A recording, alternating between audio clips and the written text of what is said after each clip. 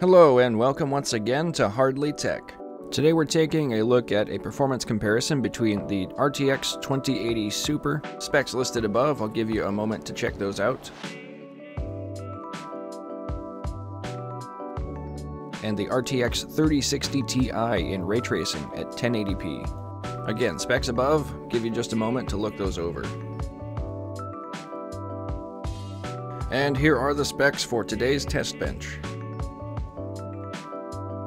Today's ray tracing games will be Dirt 5, Doom Eternal, Metro Exodus Enhanced, Resident Evil Village, and Cyberpunk 2077. How much dirt could a dirt chuck chuck if a dirt chuck could chuck dirt? Dirt 5.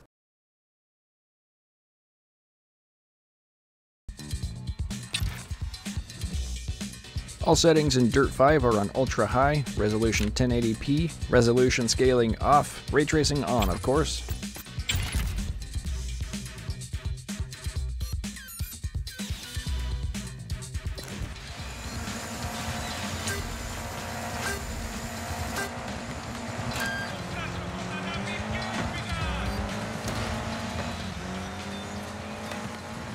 Here in Dirt 5, we're not seeing a huge difference between the 2080 Super and the 3060 Ti. During the section near the beginning of the track, the 3060 Ti basically matches the 2080 Super. After the first couple of corners, the lead shifts to the 2080 Super, anywhere from 1 to 6 frames per second, usually in the 1 to 3 FPS range. Interestingly, we can also see the 2080 Super utilizing about an extra gigabyte of system RAM, while also pulling about 10 watts less from the CPU. Overall, this is pretty impressive to me considering how many fewer RTX cores and TMUs are available on the 3060 Ti compared to the 2080 Super, and using about 30 to 40 watts less power for the GPU.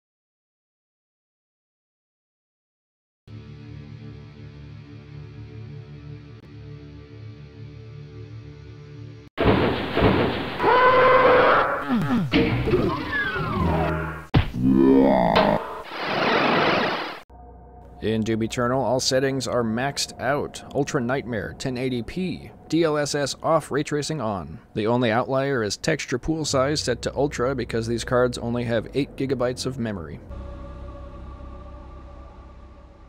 Doom Eternal flips the script a little bit. We see at the beginning that the 2080 Super and 3060 Ti are pretty close. Once we get into the action though, we start to see that the 3060 Ti holds about a 5 to 10 frame per second lead over the 2080 Super in comparable scenes. We also see that the 2080 Super is utilizing about an extra 5 to 600 megabytes of system RAM and a couple extra 100 megabytes of GPU memory. And this time, the power usage is much closer, only about a 20 watt difference.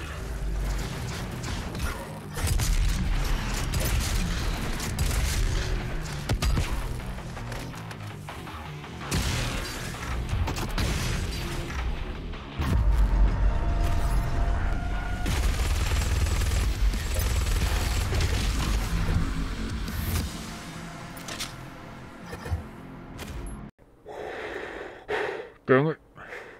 My visor's fogging up. Let's get out of here. Let's get out of Metro Exodus. Here in Metro Exodus, everything is maxed out, ray tracing on, DLSS and VRS are both off, Hairworks, Physics, and Tessellation on.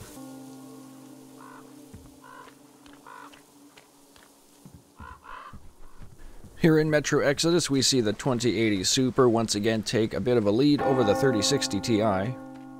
The 2080 Super maintains about a 3 to 5 frame per second lead for the majority of the test. We can also see that the 2080 Super is using an extra 40 to 50 watts though, so if you're planning on building a low power consumption build, I might steer toward the 3060. It's impressive just how much performance we get out of the 3060 Ti at such a low power target. In any case, both of these cards offer a very playable performance at max settings, so if you're rocking a 120Hz display and you've got variable refresh rate, this is a great game to show it off and have excellent ray tracing.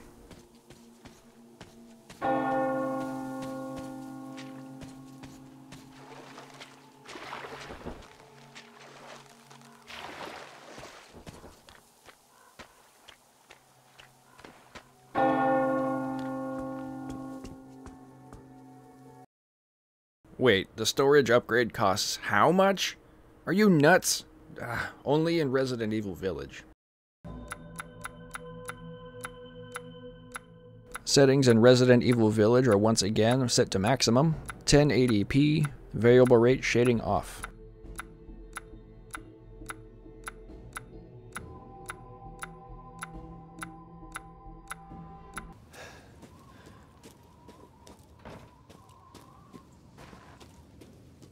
Here in the opening village portion of Resident Evil Village, we're seeing the 2080 Super maintain about a 1 to 3 frame per second lead over the 3060 Ti. So again, nothing super meaningful. However, once again we see the 2080 Super using an extra 50 watts over the 3060 Ti.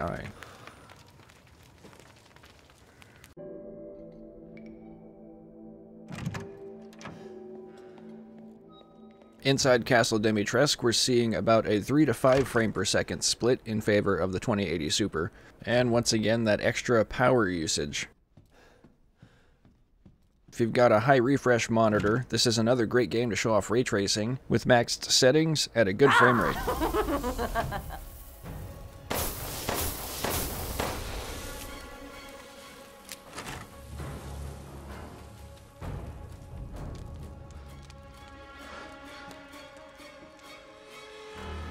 My blood is.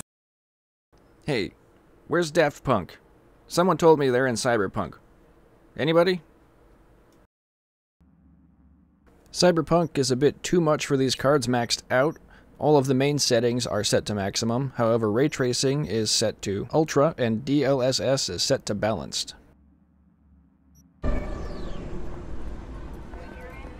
Cyberpunk 2077 is another title that swings in favor of the 3060 Ti.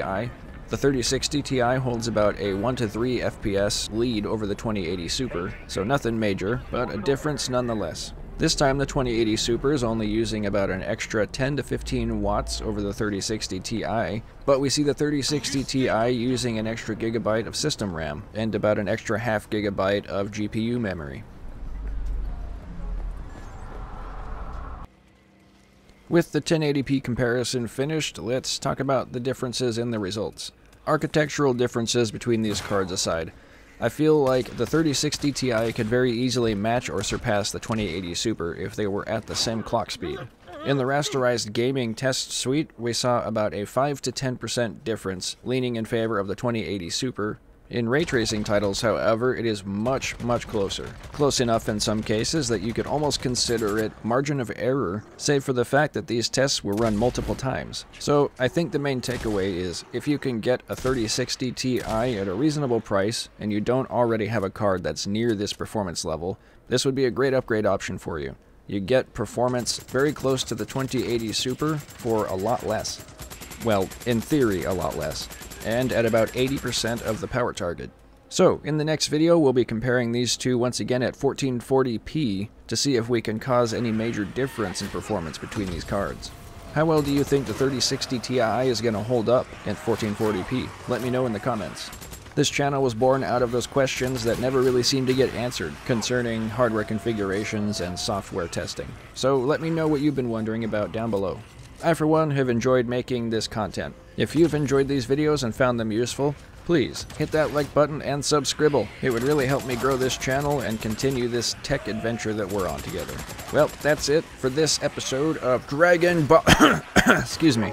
Ah, thank you for watching, and I'll see you on the next video. Bye for now.